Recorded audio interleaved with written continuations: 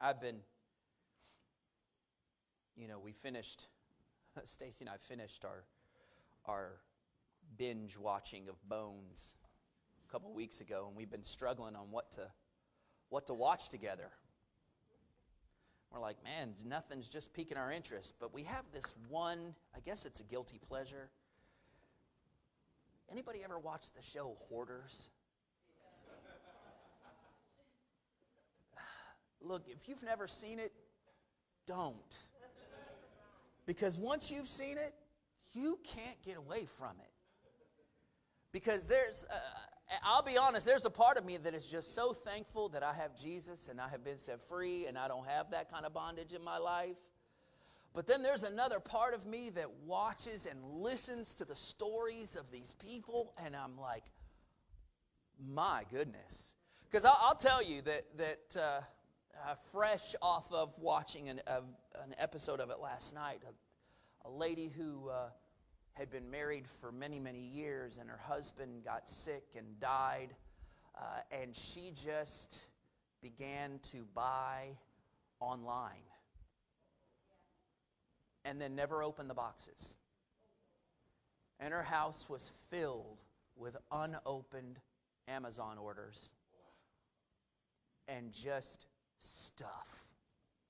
And she knew that this was not right. I mean, it's, it's good when they're admitting this is not right. But she just, she sat in it. She sat in filth. I'll be honest, her, her kitchen was disgusting. And you don't eat dinner when you're watching hoarders because it'll make you not want to eat. But man, she, and she kept talking about loss about this loss in her life. She kept talking about this, this lack, this void that is in her life. And what she had, it's interesting that she chose the inanimate to fill the void left by a person. She chose the inanimate. And, and it just, it, by the end, you know, it's like, oh, there's always that triumph, and it's just wonderful. They get, she gets rid of some stuff, but then there was a garage filled, and her den was filled, boxes stacked eight feet high, all in the rooms where she didn't let go of everything she should have let go of. But at the very least, she got her family back. You know, that was very, very sweet. And it just occurred to me how often we hoard garbage. We, we not, not physical.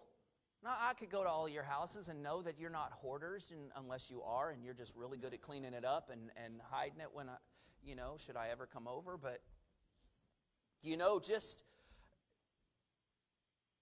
we tend to hold on to stuff because hoarding is all evidence of a lack of something in your life. It's a, it's a, it's a loss of control, it's a lack of something. And, and so I want to deal to an extent today with spiritual hoarding as it, as it pertains to this part two of our, of our series, The Simple Life, uh, as we go through the, the, the 23rd Psalm.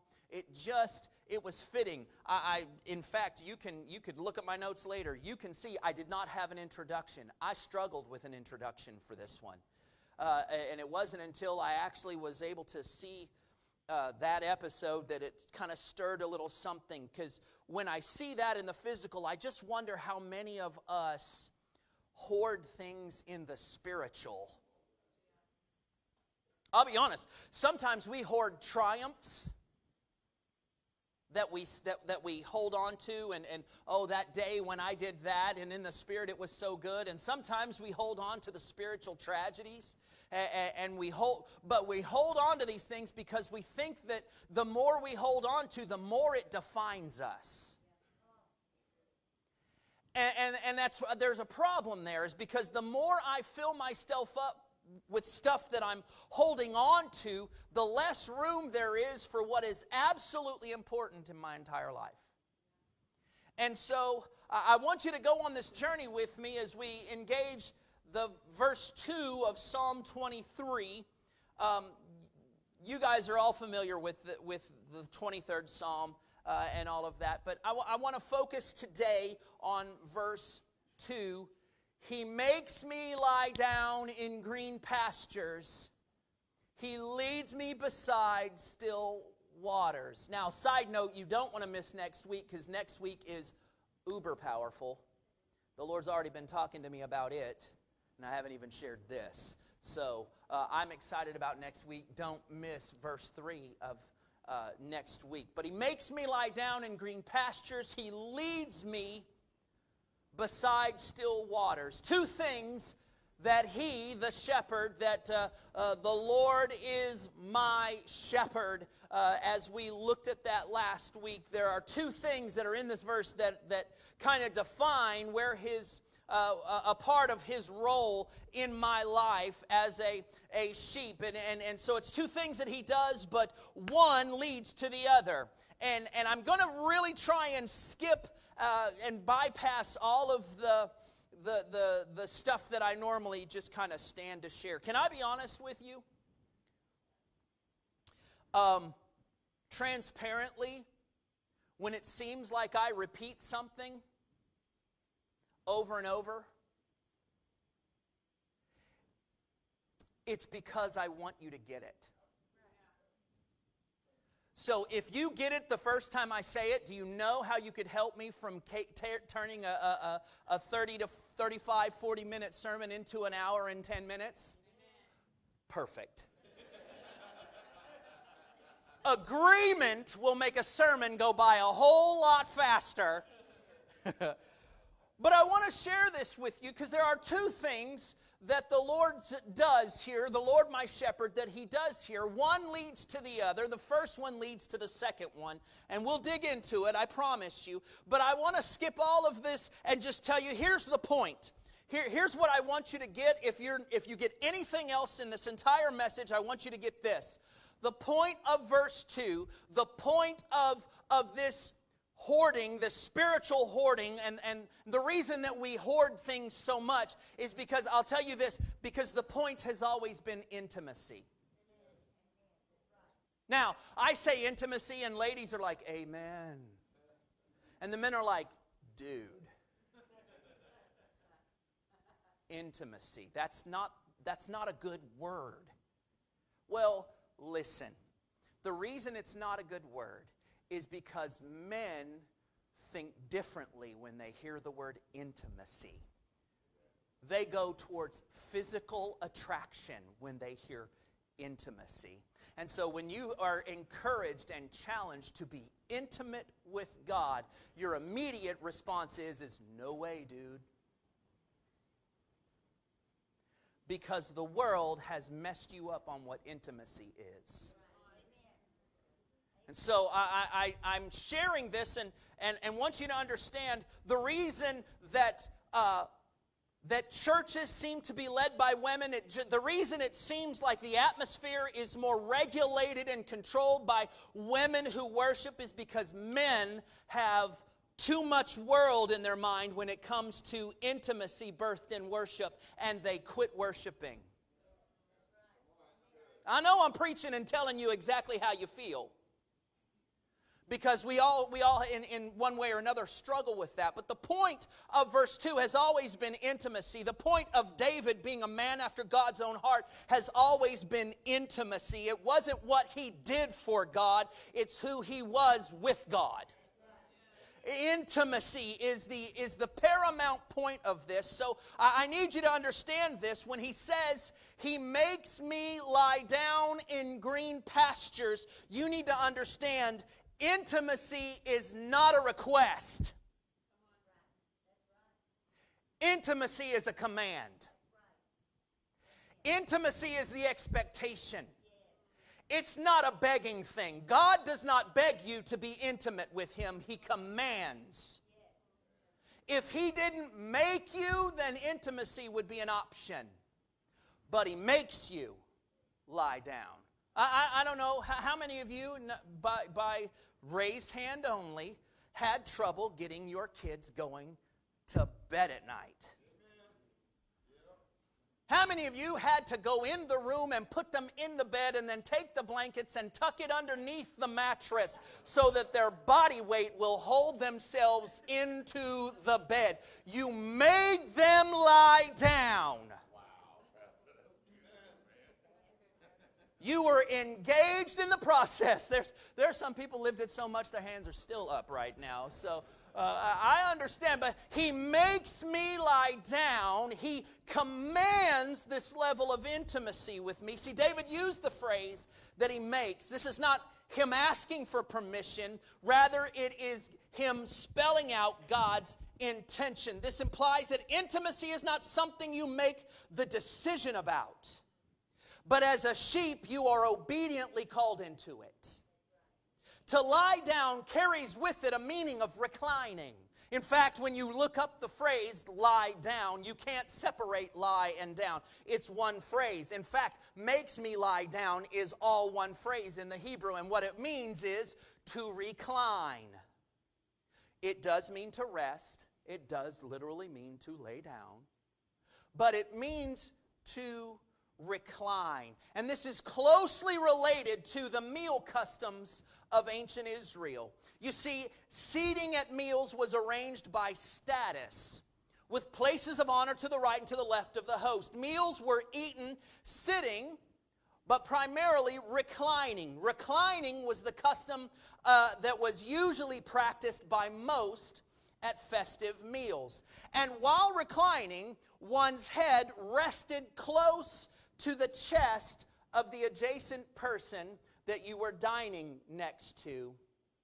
And they would literally call it being in the bosom. So,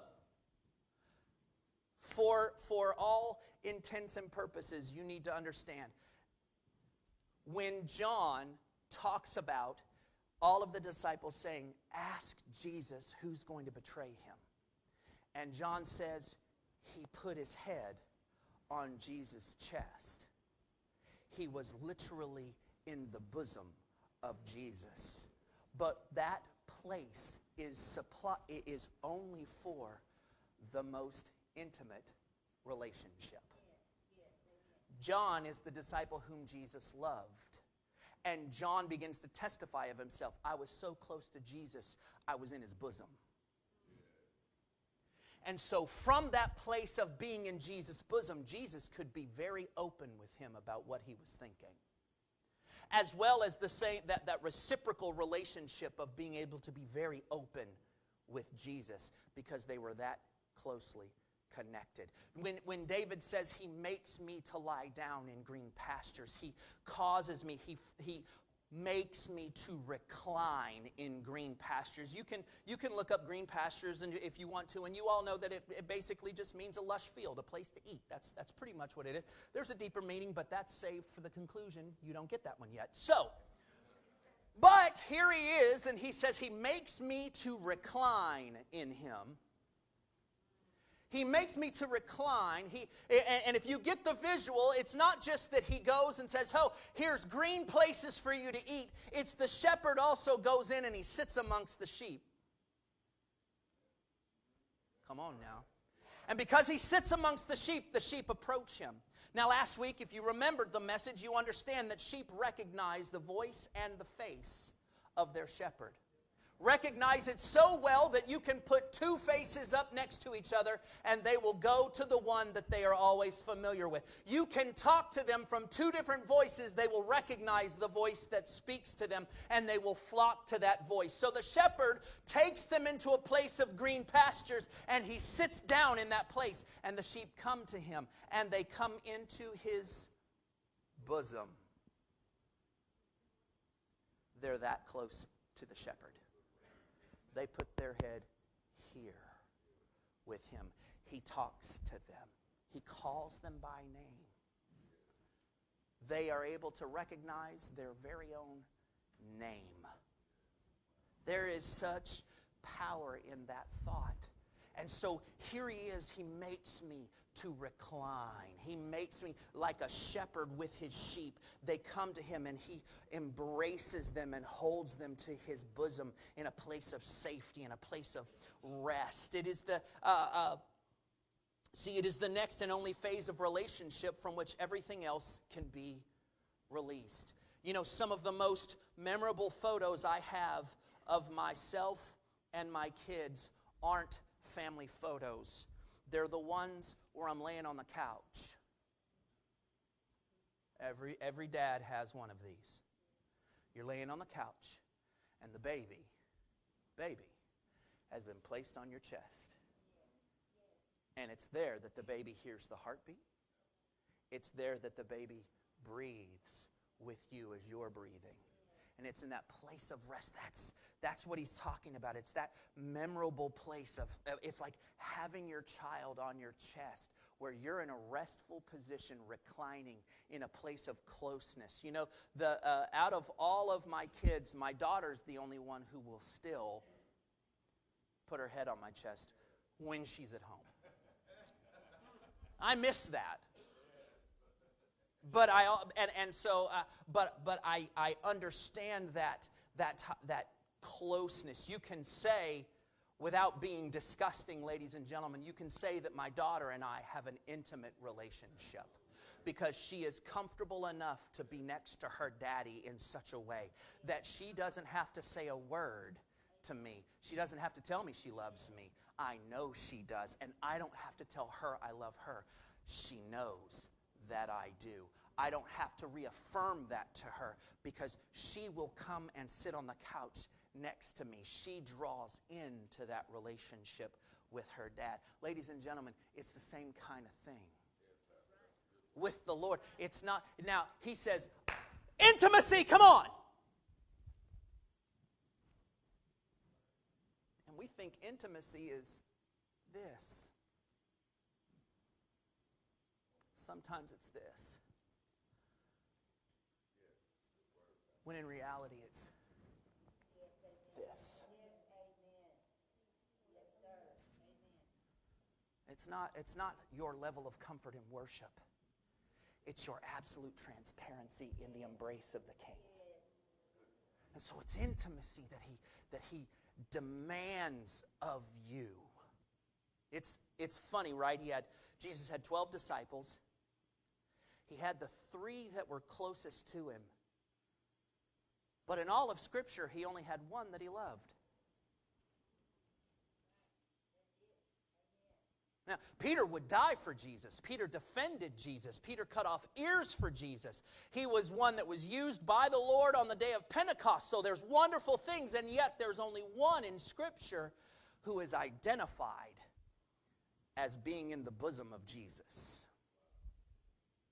And it wasn't so that we all revere John, it's so that we all know that we are capable of having that exact same relationship.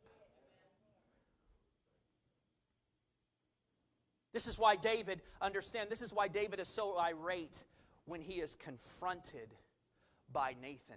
This is why, this, why David gets so angry at that story that the prophet Nathan tells him. You know, you, you remember the story. I preached on it a couple of weeks ago, where the, the prophet Nathan comes to him and says, There's a man, and he has an abundance of sheep. And he's got a neighbor that's got one and the neighbor with the and the man who has abundance of sheep has a guest that comes over and instead of killing one of his own sheep he decides to take the one from his neighbor dress it cook it and serve it to his friend. And david is not irate because of the theft. He's irate because he understands as a shepherd the closeness the man had with his one and only sheep. That sheep was better than a dog. Dogs are man's best friend, but that sheep had such a relationship. Most of the time, the, the, the, it wasn't just that sheep stayed outside, many times they were in the house. The shepherd is the gate for the sheep. When he gets them into a pen, a natural pen that's kind of like a rock area, the, the shepherd will lay at the front of the opening of those, of, of those places so that the sheep don't cross it. They don't jump over him because they see him as the safeguard. They are close enough with him that even if he were to wake up and go, uh uh-uh, uh, they go, And so they trust, they have such an absolute trust in the shepherd. And, and, and David looks at this and he says, Man, I could only imagine this one sheep, and we don't know the name of the sheep. But we know that this sheep was so important. It was the one sheep. It was the sheep that came indoors in the cold. It was the sheep that might have lain in the bed with the family. It was the one that could come to him and he would hold it and caress it and pet it and clean it and talk and love and bless and just constantly have this intimate communication, this relationship with the sheep. And David is not upset that the, that the sheep was stolen, he's upset that the relationship had been severed. And he goes right after, I can't believe this in all of Israel. This man will pay to the, to the ends of his own life. He needs to be strung up and shot, which they didn't have guns then. But you understand, he needs to be dealt with, judged, hang him, cut him up, do something to him. He needs to be punished beyond belief because he severed relationship. You're the man, David. I destroyed someone else's intimacy. It wasn't just that he stole a woman, he stood in the intimacy between a man and his wife and he destroyed it. Now, now, let me ask you this how many times do you stand between your Lord and someone else, severing their intimacy because of your attitude, because of your words, because of your actions? Listen, intimacy is commanded, it's not requested.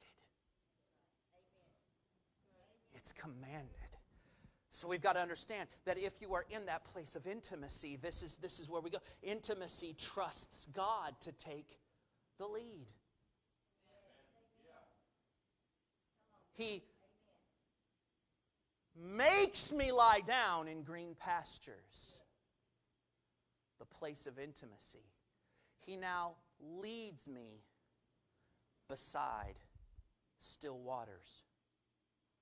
The word lead here doesn't just mean to present or go before you, but it carries also a meaning of sustain. It expresses a consistency in our lives that we can trust. That even when it looks bleak, provision comes again and again. Consider that it's not just that he sustains, but what he sustains. Now, in this, in this passage, he sustains water. Now, I'm going to dig a little deeper than just water, but I want you to hear me. Uh, our bodies are 60 to 70% water. That's cool. That's why a reduction of water in our bodies by 4% can cause dehydration.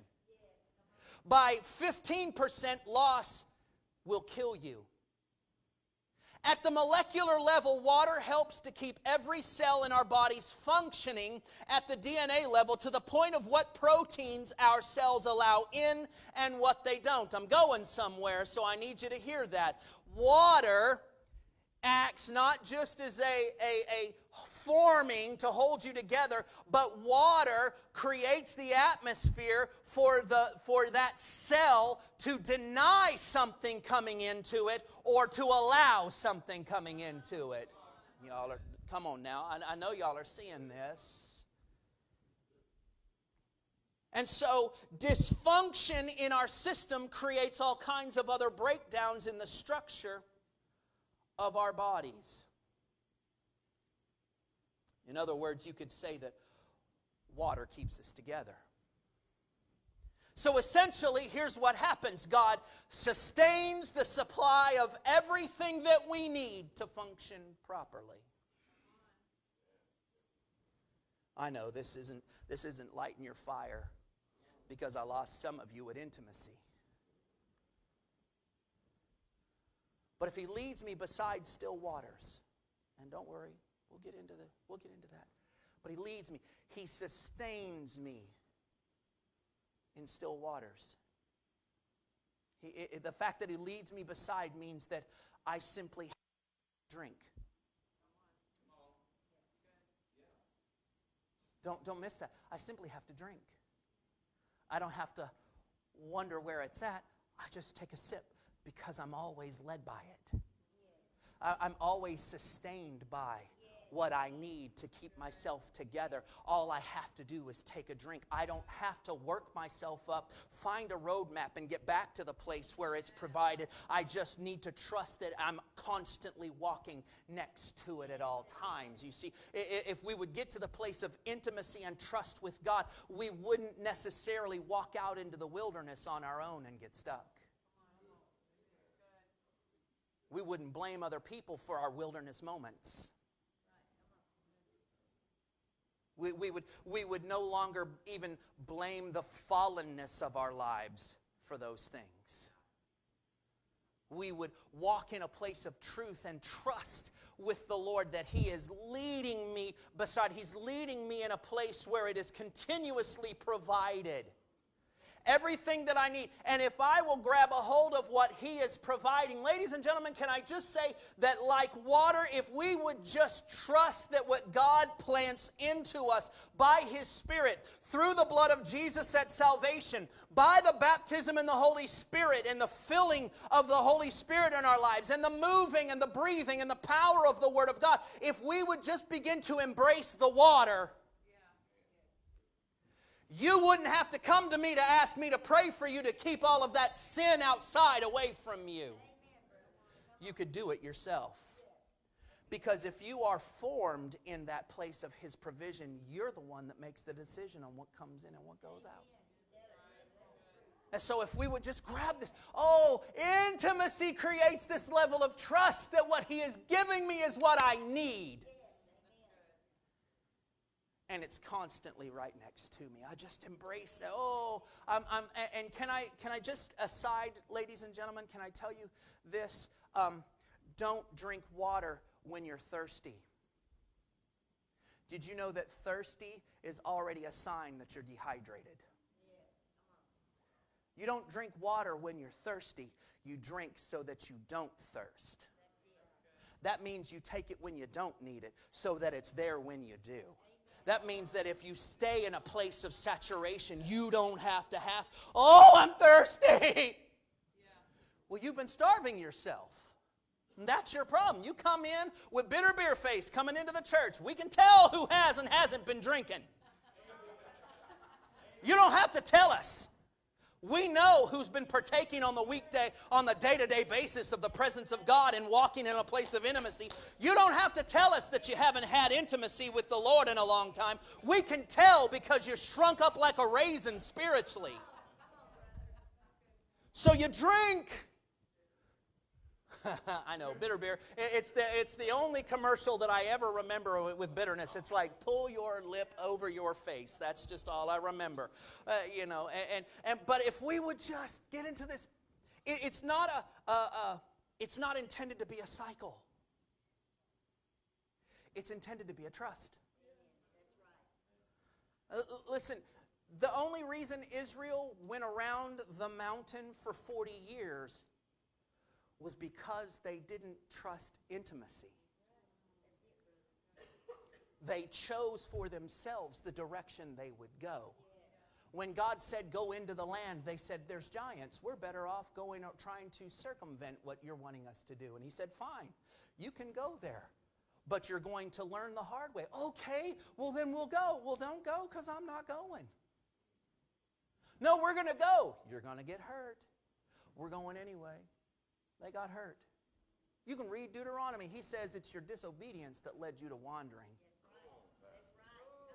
It's your disobedience that led you to wandering. It's your lack of intimacy with the Lord that led you into wandering. It's your, it's your lack of intimacy that led you into a place of hungering and thirsting.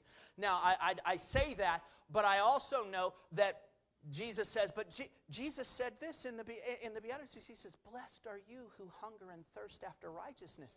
Don't miss that, though. He's not saying that you're in a drought or dehydrated. He's saying you're constantly already taking of it, and you take so much of it that that's what you feed yourself on. That's what you want more and more. You know, you don't get hungry for what you don't feed yourself. I love pizza. The reason I love pizza is because I feed myself pizza. So Stacy's always asking, "Where do you want to go eat?" And I'm like, "You choose." She goes, "I don't care." Really? Would you eat pizza with me today? You know I can't stand pizza, but I want pizza. Or the natural go to is burgers. Why? Because I will eat a burger every day. Because I like it. Even if it's not good for me, I'll eat it. But you understand that you are only hungry for what you are already feeding yourself. You will only thirst for what you are already drinking. You, you, can't, you can't build yourself up into hungering and thirsting for righteousness. You're already feeding on it so that you, de- you desire it more and more. So Jesus isn't saying you're blessed when you make the decision to start. He's saying you're blessed because you're already. And so, if we get to that place of understanding that, okay, he's making me recline, he, he demands, he's commanding intimacy, he's commanding it in my life. It's not a request, he's not begging me. He says, Come here. We're going to get close. And then he says, You can trust me because I'm always going to lead you in a place where the supply that you need to keep it together is always there. Take the drink. Take the drink. Oh, my goodness. See, He provides all that we need in our lives for peace. What does that mean? It means in turmoil, there's peace. It means in triumph, there's peace. It means in stress, there's peace. It means in every situation, peace is made available. The fact that we are led beside it tells we only need to take a drink. Lastly, I'm closing. Told you I was going to give you the last bit in the closing. It's important to visit one other aspect of the words pasture and still. So, both imply something I've never seen before. Because when you look in the, when you look in the words, and, and listen, I don't, I don't do this loosely to just kind of throw a meaning out there. I understand that words in the Greek and in the Hebrew have various meanings, and the context of those meanings, uh, of, the, of the place you find those words, determines the word you're actually using. I, I get that part. And so, for those of you who think I'm just randomly choosing, I'm not. But there is an, is, is an implied meaning to the word pasture and the word still, and that is the word abode. In other words, a dwelling place. So he makes me recline in intimacy in a lush place for dwelling. He leads me beside the dwelling place of everything that I need to stay together. It's a dwelling. Now, here's the cool thing. We can look at a dwelling. What, is, what does that mean? An abode for God? It's very easy. In David's day, before he was king, it was a tabernacle. Then it became a temple. And it was wonderful. And then uh, uh, uh, along the, the, the late, or excuse me, the, the early the late fourth, early third century, uh, there was destruction that happened, and the temple was destroyed in Israel. Oh, we've lost the abode. Oh, and then they're set free and they rebuild the abode, and it's wonderful. It's not as good as the first one, but it's wonderful. And then around AD 62, the enemy comes in and destroys it again. And isn't it so interesting that they go from considering this building. It's not a building, it's you. It's you. The Bible says very clearly, you are the temple of God. You're the temple of the Holy Spirit. Stephen says when he's before he's about to be killed in, in Acts chapter 6, he says this. He says, Howbeit, God does not dwell in temples made with human hands. He dwells in spirit inside his vessels. You want to know the dwelling place? You are the dwelling place. You're the place where God has chosen to reside. And in that place that God has chosen to reside, you have full privileges, carte blanche. Walk in as the presence of God, as the temple of God. Walk in and lay your head on his chest. Sit in his lap and be intimate. Take a drink from his supply, or a cup from his supply, or a gallon, or, you know, whatever. I'm not going to say keg because there's too many worldly people in here. We're not going to say that. But you understand what I'm talking about. The abundance, the abundance, the abundance is already.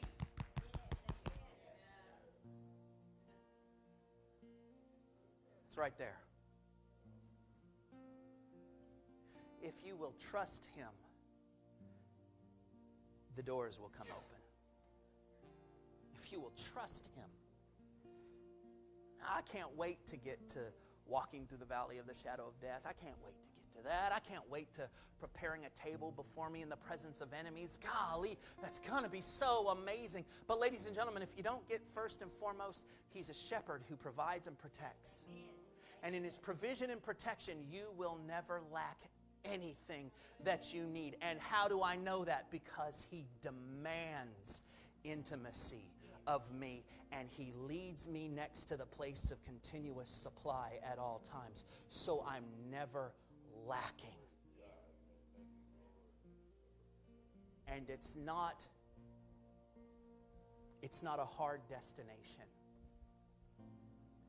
because it happened the supply was open to you. The supply chain, you were given access to the kingdom supply chain the moment you said, Jesus is Lord. And I believe that God has raised him from the dead. And as I walked into salvation, the temple became inside of me, and the provision became inside of me, and the shepherd takes his seat inside of me. He is with me everywhere that I go. Oh, I know it's um, it's hard at times to think about. It's hard to fathom. It, it, it's it's hard to wrap our minds around it. And I know for for for men, you know, it's one thing for us to go, men. He wants to lead you beside still waters, and you go, yes. Yes, that's a good thing because I can fish. I can be a man. Can I, can I take a side note for just a second? Can I tell you that the trouble with the church has been that we told young men what men do, not taught them how to be men. You want to know why there is such a gender identity struggle in the world today, and a lot of Christian young men are struggling with it, it's because the church stopped teaching them who a man is. I, I, I was a Royal Ranger. But as you can look at me and see, I don't camp. I don't chop wood with an axe. I'm not an outdoorsman type of guy. I'll go if you ensure that there's a hotel waiting for me when the skeeters get bad. I don't bathe in the creek. I don't do any of those things. I, I loved being with my friends. I loved learning to tie a rope and I loved learning how to start a fire. That was fun because, you know, fun. Okay, but, you know, I, I love to do those things. But when it came to camping, it was like, please don't send me. I cannot go outside. Now, I went outside, had an imagination, played in the neighborhood, did all of those things, but don't take me camping and put me outside to sleep on the dirt. No, I'm not doing it. But listen, but that's what we taught a real man is. A real man goes outside and camps and hunts and fishes. And this is what he does. And then you get the young men who like the arts. Oh, those aren't real men. Well, those, those, those, okay, thank you, but go out there and play some football and rub some dirt in your injuries. Be a man. And they go, but, but I am a man. I just happen to like things differently. And I know that's, I know, listen, I know that's uncomfortable, but ladies and gentlemen, it's our fault. We have young men who are struggling with identity because they're artsy as opposed to outdoorsy. And so we've created a second level of manhood. We call it beta. Beta males. We have alpha males and we have beta males. Alpha males rule everything. They're the guys who are hucking and spitting and doing, and, and, and they're, they're the men's men. But the betas, they're the ones that have the artistic flair. And, you know, they're kind of like in between woman and, well, we can't really identify what a beta male is. Now, I'm being real with you. Because what, and we have consistently gotten into this because men are not emotional. I'm glad you are. Men are not emotional.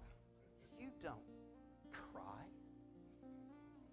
You don't ever show brokenness. Unless it's sin. Then you can talk about being broken. But you never show brokenness as a man. You, you don't do that. Men don't do that. And so we have men who won't worship because we're afraid that that tickle of emotion will come into our lives and we'll go, the more I think of you, the more I really want to cry because of what you've done for me. But I can't do it, so I'm not gonna. Guilty, ladies and gentlemen. Uh, uh you're to learn a lot about me. I had a, a baby sister who lived 13 hours. 13 hours. I saw her in the hospital, struggling to breathe. Nothing. We laid her to rest. Nothing. For weeks, nothing. Why? Why? Why, why won't you cry? Because I'm a man. And men don't cry. Men hold it in. They handle life. They deal with it. They wear it on their shoulders. They bear it everywhere that they go. Men, men, the strongest men we look at are the men who are able to carry large weights. Forgetting that Jesus said, Cast it all onto me. And a real man doesn't have to carry weight because his king has carried it for him A real man gets into a place, and, and listen, I'm talking to myself because that's one thing that I, if I'm being honest, struggle with.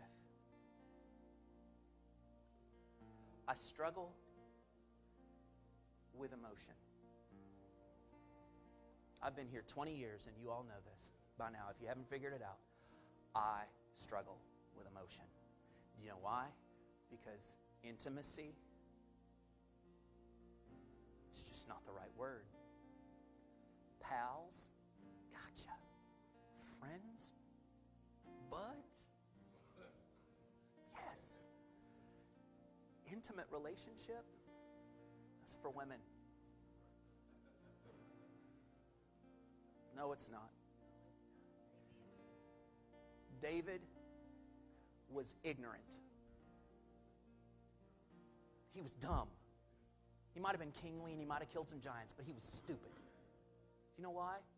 Because he forgot intimacy, even though he's the author of it. He forgot it, turned into something else, lost his mind, and did some things, severed the intimacy of someone else. Ladies and gentlemen, I got to tell you, I'm tired of being one who severs intimacy for people by telling them, you got to quit. Too much? Was it, was it too much? I, I, I, want you to hear that. Intimacy is what we've been called to. We're commanded to it. Now I know that that does that means that some of that that listen for today the win is just stepping out of your comfort zone. That's it. The win is making a step. For men, it's making a step. For women, it's also making the same step. But, ladies and gentlemen, we've been called to a place of intimacy. We've been, we've been called to because there's, there's nothing like women who worship, but there are battles that are won when men do it. When women worship, there's battles that are won too, but when men do it, the enemy all of a sudden realizes just how serious people are. And when I'm talking about this whole abode, this, this place of living, and I, I got to stop because I don't want to keep carrying on. But understand, it, it begins in a place of worship. It begins and ends in a lifestyle of worship where we're okay with loving God, loving Him, worshiping Him. And so,